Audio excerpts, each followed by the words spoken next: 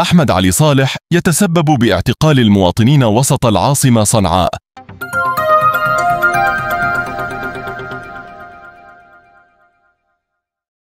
اختطفت جماعة الحوثي اليوم عددا من المواطنين وأصحاب السيارات والباصات والدراجات النارية على خلفية رفعهم صور أحمد علي عبد الله صالح العلم الوطني الجمهوري بالعاصمة صنعاء. ومنهم الطفل محمد العيزري البالغ من العمر 15 عاما.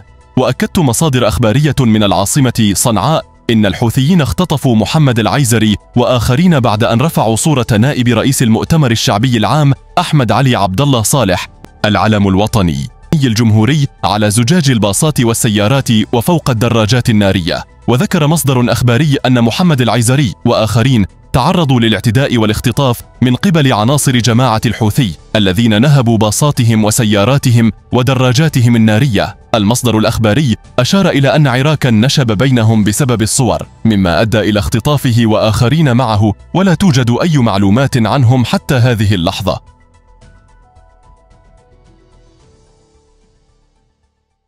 فضلا وليس امرا. لا تنسى الاشتراك بالقناة مع تفعيل زر الجرس لتصلكم جميع الأخبار في وقتها.